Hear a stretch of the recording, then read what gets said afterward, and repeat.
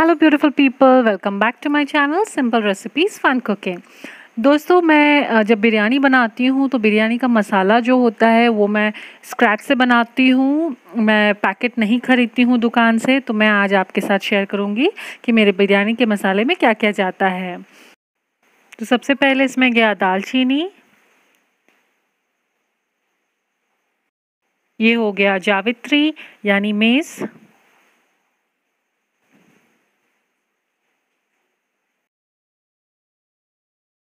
ये गया इलायची, यानी कार्डमम। ये हो गया जायफल, यानी नटमेग।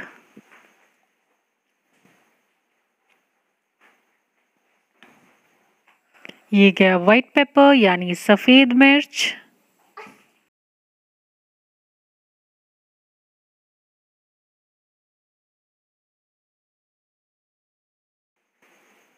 लौंग, यानी क्लोव्स ये गया। काली मिर्च, यानी कि ब्लैक पेपर पेपर कॉर्न तेज पत्ता दो। और अंत में गया शाही जीरा। दोस्तों, ये जो मैंने क्वांटिटी दिखाया है, अब इन सबको मैं फ्राई करूँगी। सूखे तवे में फ्राई करना है। हल्का ब्राउन होने तक फ्राई करना है, जलाना नहीं है।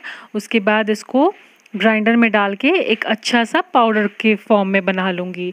इसको आप स्टोर भी कर सकते हैं, करीब दो महीना तक तो स्टोर कर सकते हैं और ये जो मैंने क्वांटिटी लिया है, इसमें करीब पंद्रह आदमी का बिरयानी बन जाएगा। तो अगर आप कम आदमी का बनाते हैं तो आप इसको स्टोर करके रीयूज़ कर सकते हैं। तो इसको अच्छे से भून ले ड्राई रोस्ट कर ले। उसके बाद इसको अच्छे से पाउडर फॉर्म में बना लें और इसको बिरयानी में ऐड कर दें एज अ बिरयानी मसाला।